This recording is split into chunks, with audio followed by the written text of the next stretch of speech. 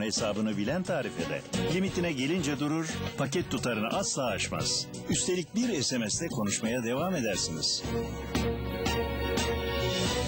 Tüm Bak. Bakkal ve esnafın alışveriş merkezi. Bakkallar, marketler.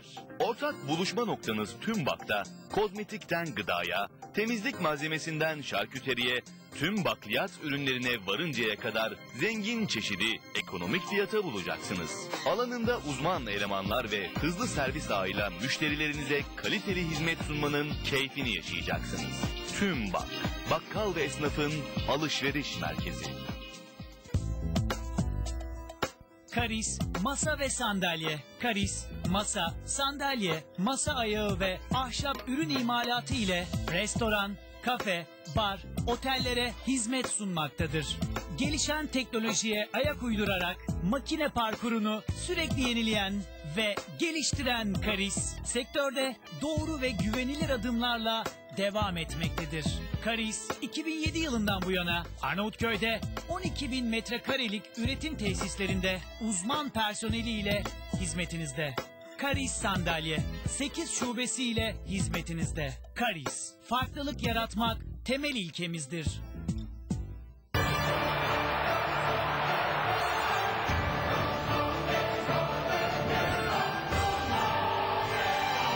Futbol sezonu D-Smart'la başlıyor.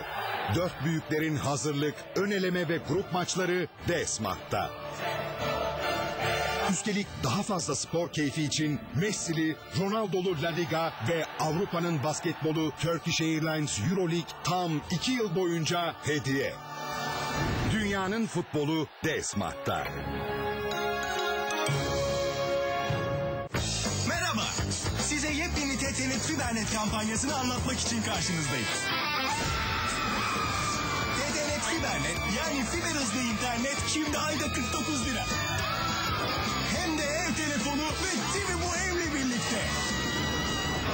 Ama bir bağırmayın bir şey anlatıyorum. Siz de fibernetin hızına alışın. internetin keyfini çıkarın. TTNet. İletişimde özgürlük, eğlencede özgürlük.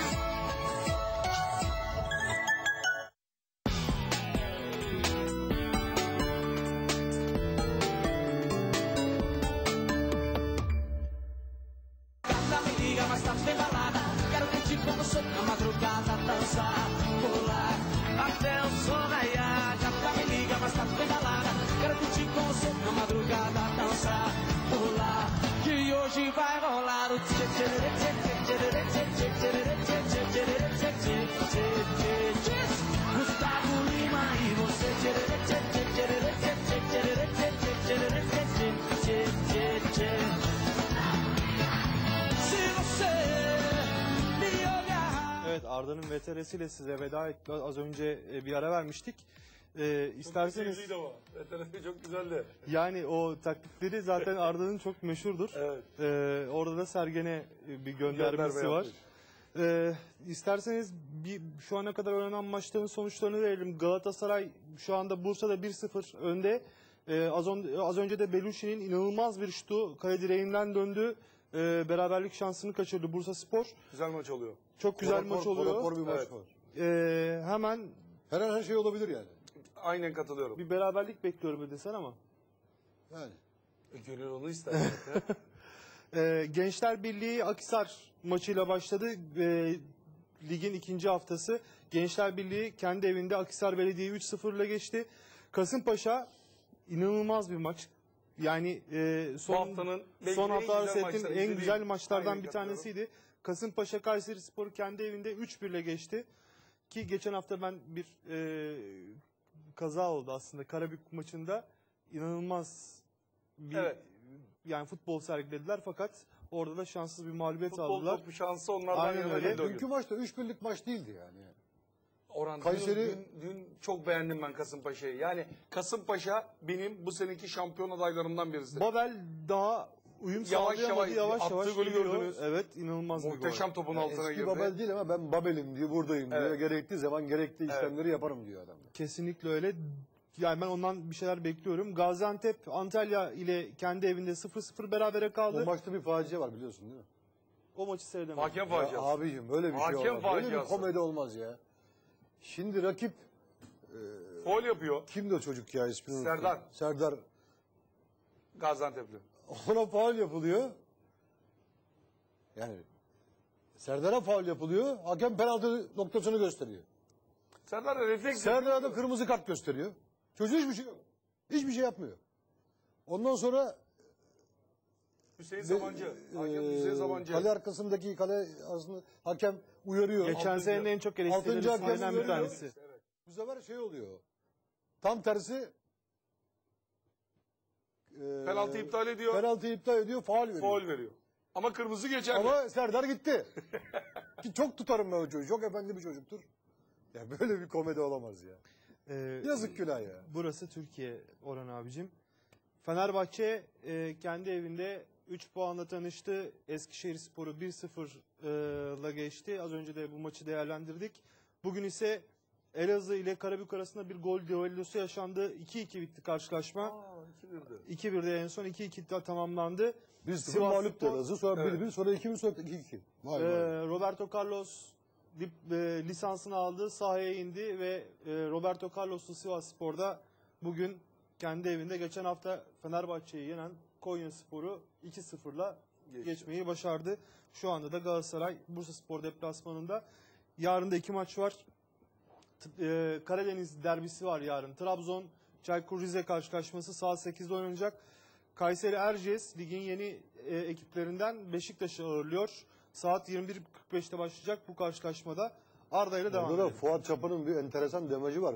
Okudunuz, takip ettiniz mi bilmiyorum. Ee, futbol severlere müthiş sürprizimiz var. Bu maçı kaçırmasınlar diyor. diyor. Fuat Hoca'nın Evet. e, böyle ilginç zaman zaman çıkışları Enteresan. oluyor ve çok da iyi bir teknik direktör olduğuna inanıyorum. Kesinlikle. Gençler Evet, çok da geçen beyefendi. sene, Çok, da beyefendi geçen sene de çok başarılı oldu. Arda konusu şöyle. e, şimdi oradaki sıkıntı şu. Arda askerliğinden dolayı 3 seneyi tamamlaması lazım. Dışarıdaki bedelli askerlik yapabilsin diye. Ama şu anda Fatih Terim'in de Arda'ya çok ihtiyacı var. Sol kanat bazında bu 6 artı 0 artı 4'ten dolayı Fatih Terim orada Abramat'tan yoksun kalacağı için o bölgeyi Arda'yla kapatmak istiyor. E, Şampiyonlar Ligi'nde düşündüğünüz zaman şu anki Arda'nın da performansına baktığınız zaman çok yerinde bir nokta atış. Ya, Ve verilen de rakam 4,5 milyon euro civarlarında. Arda da bunu kendisi de söylüyor. Yani ben hayatımda böyle bir para almadım bir senede. Çok iyi bir paraya alıyorum diye. Orada iki uçağı falan oynuyor değil mi? O civarlarda. o Ee, ki bir de vergisi var Onun orada. vergileri çok yüksek. Bir de vergileri var. Yani bu bağlamda Fatih Terim içinde, Arda içinde, Galatasaray içinde çok yerinde bir transfer. Ama tabii 10 milyon, 12 milyon eurolara verdiğin bir adamı 24 milyon liraya bastıran bir Atletico Madrid an- e, tarafı var. Riera'yı da veriyor Galatasaray. 15 milyon euroya kadar çıktı. Artı Riera dedi. Ona rağmen hala itiraz ediyor. Bir seneye bir senesi kalacak. Sözleşmesi eğer bu sene Madrid'de kalırsa bir senesi kalacak. 5-6 milyon eurolara düşecek. Anlamıyorum yani niye orada e, Atletico Madrid bu kadar ısrar ediyor. Ama öbür tarafta Fenerbahçe bastırıyor. 24 milyonun 24'ünü de vereceğim. Arda'yı istediği parayı da vereceğim diye gelsin Türkiye'ye diyen bir Fenerbahçe Bu var. arada e, bir gelişme daha var biliyorsunuz. Dün e, Monaco Galatasaray'ın talip olduğu iki futbolcuya da hem Bruma hem e, Arda. Arda. Arda Ben çünkü özellikle Falcao'nun e, istediği, İstediği adam, topları evet. alama- alamaması, Arda ile olan Aynen. uyumu geçen seneki e, onları düşünerek Arda'yı bilmem ama Bruma'nın gittiğini düşünüyorum çünkü 17 milyon e, euro 16 civarında bir rakam vermişler. vermişler. İyi bir para. Ee, 250 bin, 300 bin euroya oynuyormuş Sporting Lisbon'da. Yaklaşık olarak 2 milyon euro da ço- çocuğa verecekler. 18-19 yaşında bir çocuğa. Yani anlatılmaz bir paralar dönüyor bu futbol sektöründe. Yani Şimdi bak bu Arda konusunda Fenerbahçe kapabildirdi. Biz ilgilenmiyoruz diye. Ama Fenerbahçe şimdi Ar- Galatasaray Arda'yı da alırsa yenilmez armada olur bak size söyleyeyim.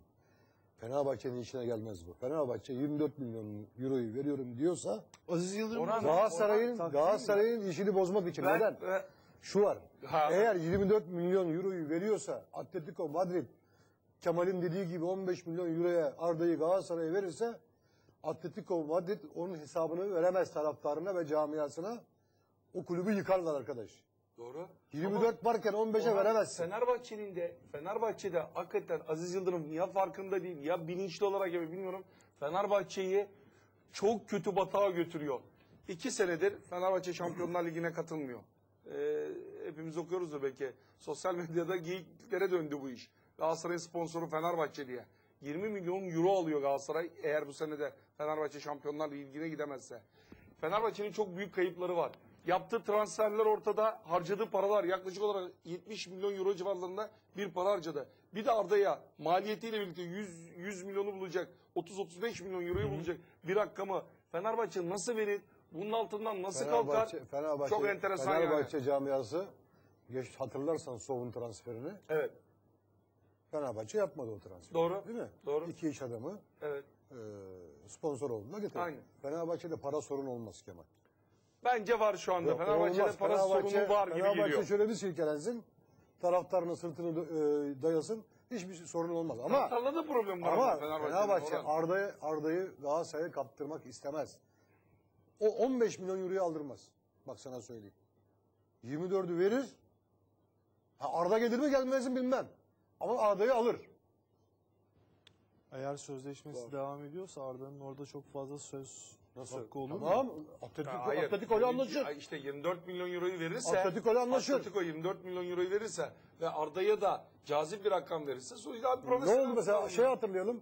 Serdar Kesimalı. Değil mi? Onun sene? haber, parasını verdi aldı. Çocuğun haberi yoktu. Peki. Ee, bu arada Arsenal'in eski futbolcularından David O'Leary bir açıklama yaptı ve sosyal medyada da çok fazla e, tepki çekti. E, Arsenal de lige iyi başlamadı. Gerçi bu hafta 3 birlik bir galibiyetleri var. Ama 1-1 olmuş Bursa. ee, bu arada evet Bursa Spor 1-1 oldu. Arkadaşlar herhalde bana birazdan golle ilgili bilgiyi verirler. Kim attı? E, Enes atmış golü. Enes atmış 1-1 olmuş. Ne dedim ben sana olacak. Ee, Bursa Spor etkili geliyordu. Yalnız Çok iyi oynadı. Bir, bir, bir iki dakika seyredebildik. David O'Leary'nin söylediği şu. Fenerbahçe bir Galatasaray değil. O yüzden Arsene Wenger parasını kıyıp takıma bir yıldız futbolcu almalı. Ee, hatta birkaç yıldız futbolcu almalı. Ee, biz Fenerbahçe'yi zaten geçeriz gibi bir açıklaması var. Ki Arsenal'de Arsene Wenger sırf bunun yüzünden inanılmaz derecede eleştiri aldı. Takıma iyi bir yıldız kazandıramadığı için, e, bir yıldız transfer yapmadığı için ve şu anda onlar da ki bugün yine medyaya düşen haberlerden bir tanesi de o Real Madrid'li Di Maria ile görüştükleri ve Fenerbahçe'nin de hatta Di Maria'ya talip olduğu da yazı- yazıyordu bazı gazetelerde. Ee, ben şunu sormak istiyorum. Fenerbahçe artık Avrupa medyasında bir Galatasaray değil imajını ne zaman siler? Canım öyle bir imaj yok yani. Ya bundan önce geçen sene mesela Beyefendi Roma, Roma'da da. İtalyan gazeteleri Lazio maçı öncesi bu tür e, başlıklar atmışlardı. Atacak da bunlar profesyonelce mı? onur kırma, işte moral bozma söylemleri. Ya bir de, şimdi bak bunların terbiyesizlikleri bitmiyor. Seyahate gidiyorsun, burada sana işte vize zorluğu çıkartıyorlar. Yok havalanlarında bekletiyor. Bunların terbiyesizliği çok büyük. Bana yakışır mı yani spor adamına bunu söylemek? Nasıl tanımıyormuş Fenerbahçe? Yani Anelka'yı mı tanımamış? Roberto Carlos'u mu tanımamış? Kimi tanımamış? Öyle şey olur mu? Saçma sapan demeçler bunlar. Eğer Fenerbahçe lige zamanında başlasaydı, transferlerini zamanında yapsaydı görürdüm Arsenal'ı. Nitekim gitti Galatasaray. Yendi orada işte. Çünkü hazır takım. Peki eee, artık Fenerbahçe dosyasını kapatacağım. Yarın saat 11'de uçak kalkıyor Sabiha Gökçen'den. Arsenal maçı ile ilgili son sözlerini alayım abi. Arsenal maçı dediğin gibi prestij maçıdır. Futbolcuların onur mücadelesidir. İnşallah bir beraberlik alırlar. En azından puan için önemlidir. Fenerbahçe bundan sonra UEFA'da, UEFA Avrupa Ligi'nde yoluna devam eder. Peki. Kemal abi sen ne diyeceksin son olarak Ee, Fenerbahçe ile yani gerçekçi olmak gerekir. Bu saatten sonra doktor ona reçete yazmaz. Fenerbahçe'nin aldığı buradaki 3-0'lık mağlubiyeti Arsenal orada rahatlıkla götürecektir. Ama onun dediği gibi ülke e, puanı